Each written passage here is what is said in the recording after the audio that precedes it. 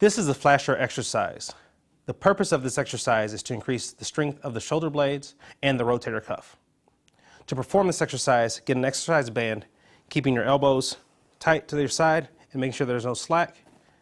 You're going to turn your thumbs out and separate your hands.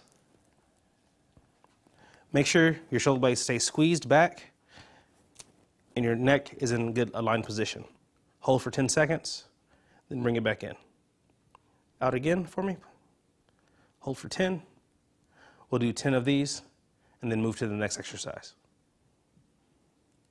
The objective increase the strength of the shoulder blades and rotator cuff. Keep the elbows tight to the body while holding the resistance band.